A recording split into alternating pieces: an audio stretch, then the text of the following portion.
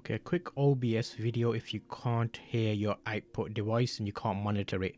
What do I mean by that? So right now in this selection here, I have, you'll see a bit of music playing in the background. I'll make that really low. I've got my mic.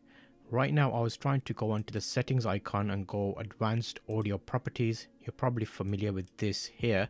And what we want to do here is make the music, which is here being played, to output so I've got monitor and output, which means I monitor it on my speakers and I want it to output into my video or my live stream, but it's not playing. Why is that? Well, there's one setting that's hidden that you want to check. If you go file, settings, or you can just go settings over here, brings up the same menu, go to audio, and here in this advanced menu here, you'll see it says monitoring device. That is set to not my standard device. I go default, I do apply, and now I can hear that volume out of my speakers. Which you could probably hear in the speakers as a, yeah. So that's where to get that from. So if you're struggling with that, that's where to check.